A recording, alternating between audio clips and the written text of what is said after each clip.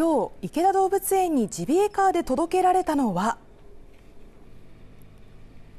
食用にできなかった鹿の肉です。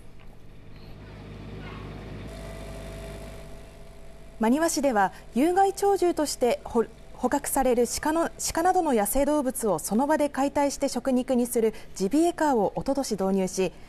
レストランなどにジビエとして届けていますが食用に適さない若い鹿肉の利用方法が課題となっていました。生き物の命を何かに役に立てる。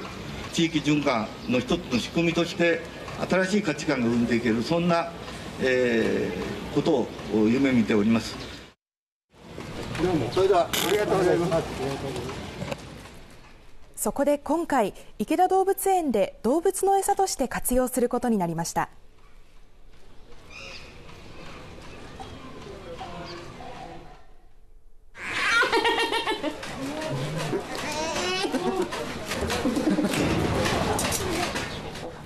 ハイエナや。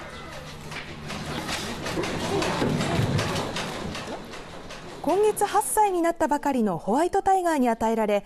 動物たちは無我夢中で平らげていました。